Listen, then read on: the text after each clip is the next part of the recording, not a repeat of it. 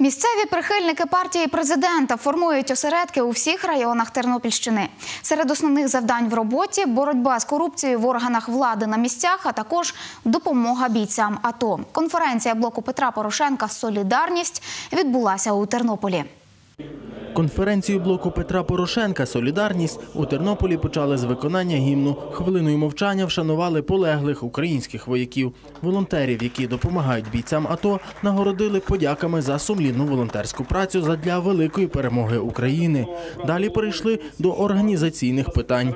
Будуть затверджуватись додатково рада політичної партії, будуть прийматися нові члени політичної партії. Партійна робота зводиться до того, що кожна політична партія, прийшовши до влади, вона має мати якісний, якісний кадровий підбір для того, щоб можна було запропонувати в органи влади відповідно будувати країну. Серед першочергових завдань у роботі кажуть допомога АТО і боротьба з корупцією. з нинішнього дня в кожному районному, районному центрі і в обласному центрі, зокрема, будуть функціонувати центри консультації і надання інформації щодо фактів порушення чинного законодавства і проявів корупції.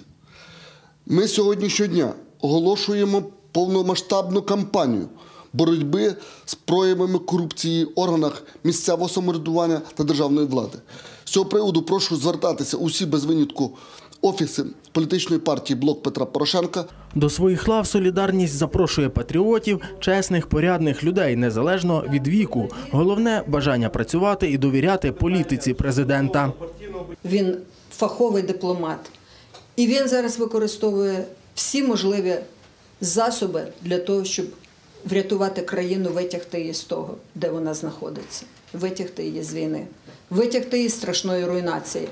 І сила Росії в тому, що 86% згуртована навколо їхнього божевільного карлика, який тягне їх в руїну. Слабкість нашої країни є в тому, що ми не є згуртовані. Зробити все для того, щоб країна згуртувалася навколо свого президента наше з вами завдання.